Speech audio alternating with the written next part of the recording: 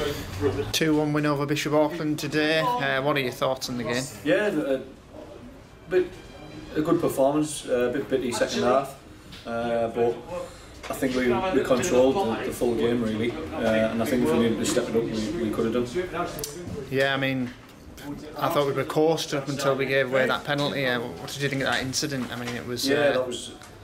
We, we considered that at, at the wrong time really.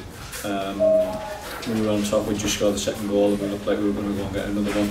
Uh, but unfortunately, we got the penalty away and it gave them a bit of a lift. But to be honest, we, you look at apart from the penalty, I don't think it really much for, for Martha to do in goal.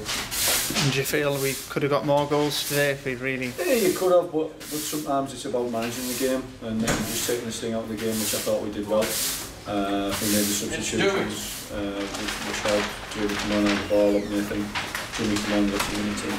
So I think we managed the game well second half. And uh, opted with Mikey Roberts today instead of Jamie Hunt. Is that going to be. You're just going to be switching them in and out Yeah, as the see how season goes on? Well, we'll see, but like I said, uh, on Wednesday we've got four games in nine days, so we've got to use Yeah, the squad. definitely. Uh, obviously, we don't want people tiring and burning out, uh, playing every single minute, every single game if we don't need to, uh, and especially with certain players who, who we had give a rest today.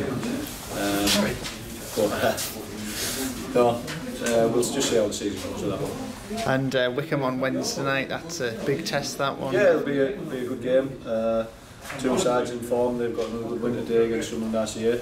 Uh, so yeah, we look forward to it.